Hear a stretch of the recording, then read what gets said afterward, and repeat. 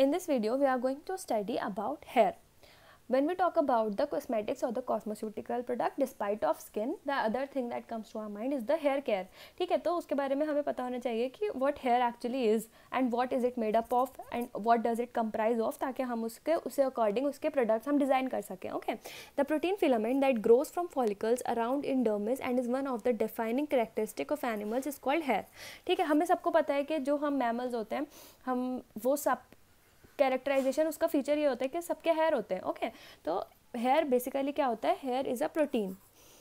ठीक है? अब मैंने, इससे पहले हमने स्किन के बारे में पढ़ा तो हमने देखी थी उसकी थ्री लेयर्स थी epidermis dermis and the hypodermis तो उसमें से जो डर्मिस लेयर थी that means the middle layer जो थी,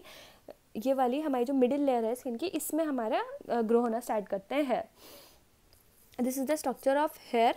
ये हमारी स्किन है और ये हमारा हेयर फॉलिकल है, जो कि अटैच्ड है to the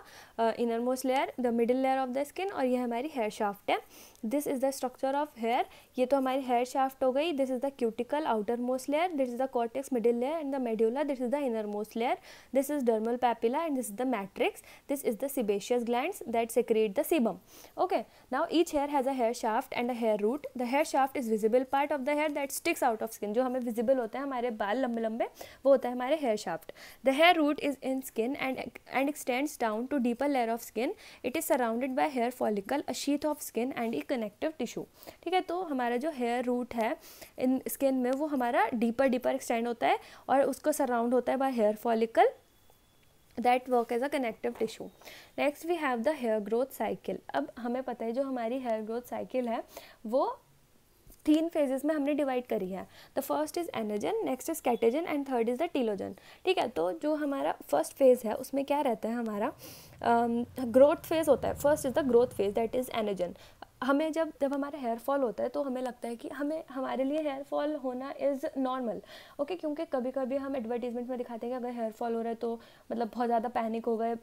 But it should not be like that क्योंकि हमारी हेयर की एक एज होती है और उसके बाद वो डेड हेयर बन जाता है, ठीक है? तो उसके बाद उसे फॉलो ऑफ़ होने पड़ता है, क्योंकि फिर न्यू हेयर को आना होता है, ठीक है? तो ये एक साइकिल है दैट गोज ऑन तो अगर एक लिमिटेड अमाउंट तक हेयर फॉल हो रहा है तो it's okay it is considerable but हाँ अगर ऐसा है कि बहुत ज़्यादा एक्सेसिव हेयर फॉल हो रहा है, बहुत मतलब बहुत ज़्यादा बाल टूटे जा रहे हैं दैट इज़ नॉट नॉर्मल तो उसके लिए we need to take certain action okay now anagen is a growth phase it provide nourishment to hair follicle via blood supply enables hair इस टाइम पे क्या होता है? जो ब्लड सप्लाई है, वो हमारे हेयर को मिल रही होती है and it is living and it is growing next we have the catagen इसमें क्या होता है? It is a transition phase इसमें हेयर फॉलिकल डिटैच हो जाता है from the blood supply telogen telogen में रेस्टिंग फ़ेज़ उसमें क्या होता है? Without nourishment the hair dies and it's fall off the cells in the root of hair divide rapidly. A new hair is formed and pushes the club hair, the hair that has stopped growing or is no longer in the anagen phase of the follicle.